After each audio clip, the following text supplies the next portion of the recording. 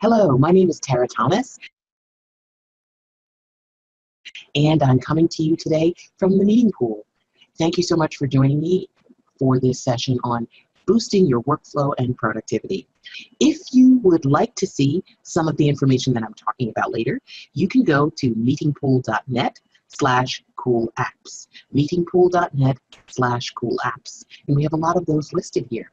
I also would like to thank all of you for joining me, and I'd like to thank the Planet IMEX team for including the meeting pool in this virtual event.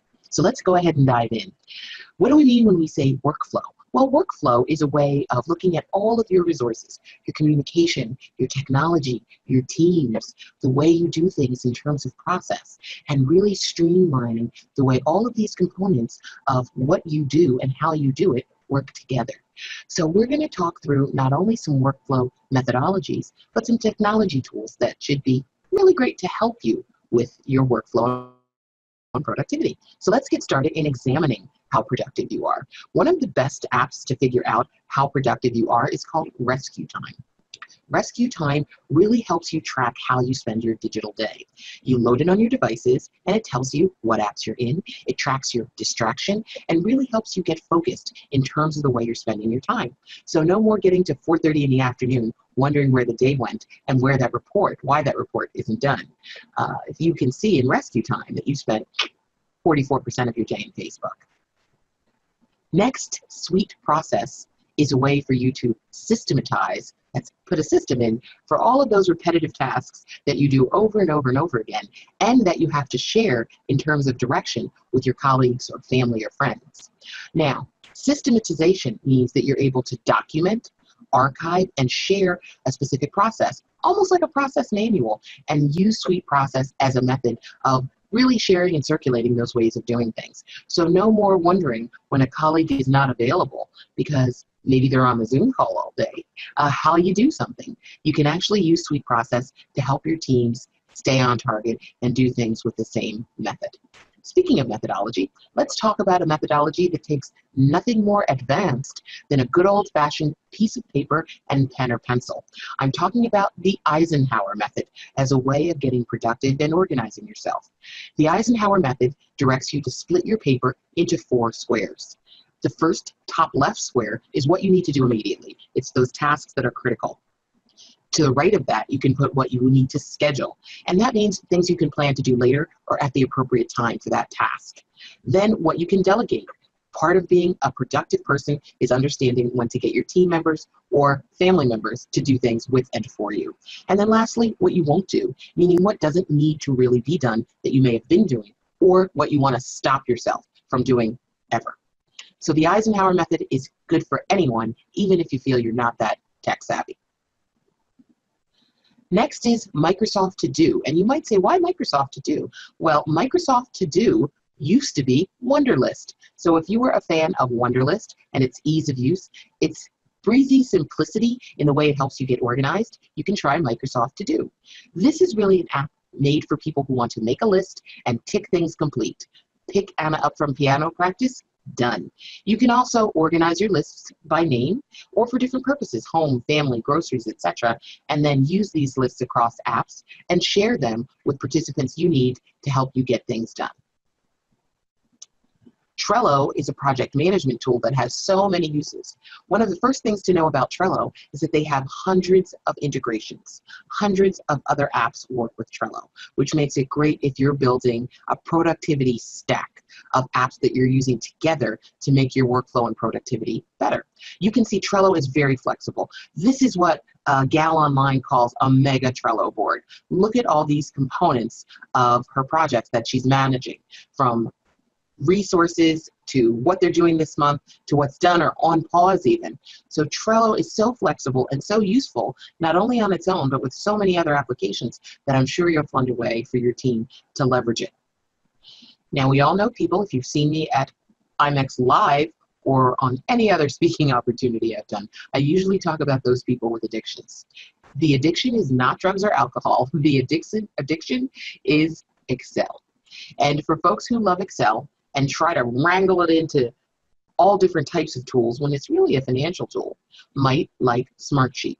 Smartsheet gives you that warm, snuggly, comfy feel of a spreadsheet, but actually allows you to get the powerhouse features of a mainstream project management tool. Now, those features include things like notifications, um, Gantt charting, file management, drawing and annotation tools, all sorts of useful elements in managing a project. If we're talking project management, I have to say the one I've used for over a decade that I find really a can't fail solution for almost any type of project management situation is Basecamp. Why do I love Basecamp? No one has ever asked me how to use Basecamp. It's very easy to use, manage, and collaborate with. One of the other nice features of Basecamp is that you can actually tell Basecamp who's in your internal team, who's in your external team, and control what each of those sides of the coin see in terms of that project. That becomes very useful when you work with a lot of outside suppliers or vendors whom you don't want to see all of your internal communication and collaboration. Reka is really wonderful if you're looking for an alternative to something like Microsoft Project. Microsoft Project is a very strong and useful tool, but there are lots of people who really aren't enamored of it. Reka is a good alternative because it can manage even the largest projects very, very deftly and has a lot of powerhouse features for teams with sub-teams and those tasks associated with all of those sub-teams. Now we're going to talk about a couple of tools that actually help you make your applications work together better. Um, many of you may have heard of if this then that. This is in the top right here, IFTTT. If this then that lets you utilize what are called recipes to make applications, functionality, and process work together for you. So if you'd like images that come in from your sister via email to be automatically uploaded to your Instagram feed, you can have a recipe in If This Then That that will help you do that. If you would like to silence your phone after every calendared meeting begins, if this then that can help you put that process automatically into play. Zapier is very similar to if this then that because it also is very very well known for helping applications work together. It has a lot of business applications already built into the Zapier system that you can connect using pre-made zaps. And those zaps can help you connect things you probably never knew you could automate. So I really encourage you to look at both of these solutions if you're looking for better ways to make your, again, productivity stack or series of applications and processes work better together. Zoho Social is a great way to manage your social media processes. Why Zoho? There are lots of social media tools on the market, but Zoho Social is affordable easy and manageable. You can manage multiple brands, meaning different divisions of one company or different clients, etc., very, very economically. It's easy to post and it's easy to see what's been posted and conduct interactive or engaging conversations from your social channels. x.ai is a way to use AI or artificial intelligence to schedule your meetings. You get an assistant, typically named Amy, and you tell Amy who you need to meet with and when you need to meet with them. And Amy will actually go out and ping or query those other meeting participants and find out the best time that works for everyone. So it makes it easy for you to actually schedule lots of different meetings with lots of different people or audiences without having to spend a lot of time manual, manually answering emails and initiating questions about when people are available. Fuze is a collaboration tool that has a lot of great features. Now it has chat features, it has some features for meeting sharing. You can take notes, collaborate on documents, and do lots of other things that you would do in an online meeting, including via video. But one thing that's really lovely about Fuze is you can actually use it as a soft phone, meaning an online phone. You can dial out to people, you can call them and say, let's video conference. You can use it if, like a lot of people who are home, you need an office phone in your home and you'd like to use your laptop or desktop computer.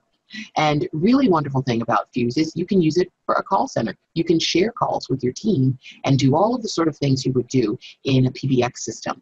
So it's nice if calling and calling out is something that you need to do along with your communication and collaboration platform.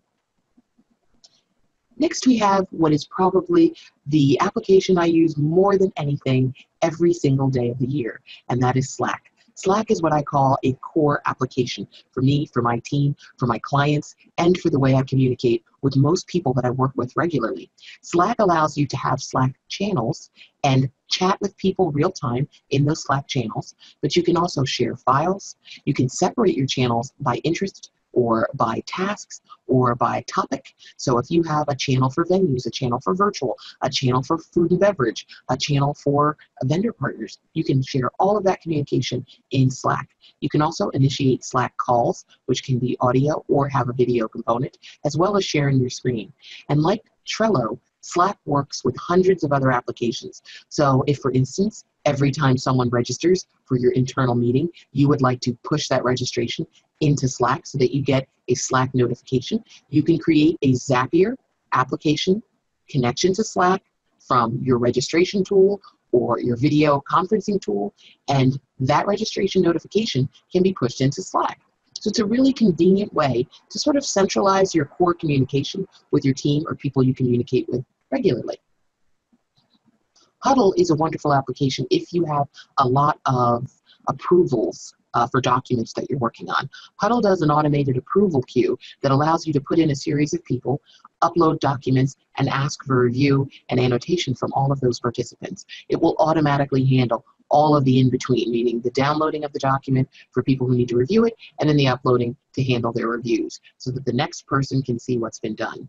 So if you spend a lot of manual time and emails actually managing approvals of different types of documents, you might want to look at Huddle. HelloSign competes with DocuSign and doesn't just help you get documents that you'd like to get signed signed electronically. It also has a really great module that lets you get forms completed electronically easily and in a mobile format. So if you use a lot of contractors or you have people that you need to collect W-9 information from, things like this, HelloSign is excellent at doing that. You can actually send a link directly from HelloSign to a recipient and they'll be able to complete that W-9 for you on their phone and send it back via the HelloSign system. You can also do all of the traditional digital signing that you can do with other signing products as well. But they really have extended so there's a great workflow set of thinking for the way HelloSign works for you. Now back to our friends with the addiction. That's right, the Excel addicted. Another application that those folks who love Excel really start to like is Airtable.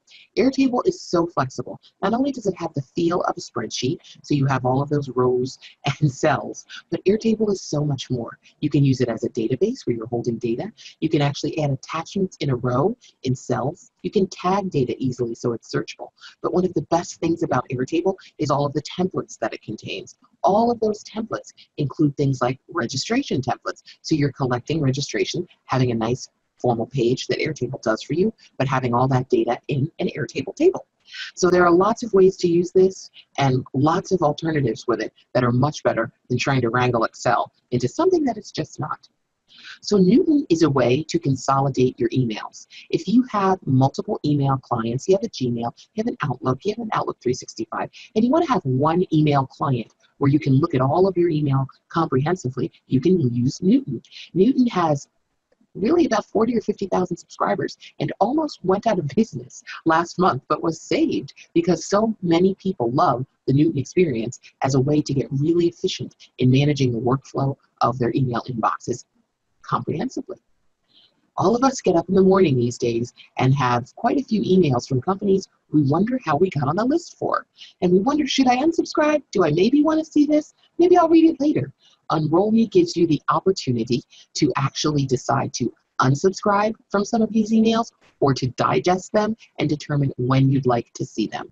So this gives you real control over emails in your inbox and how you'd like to handle when and how you view them.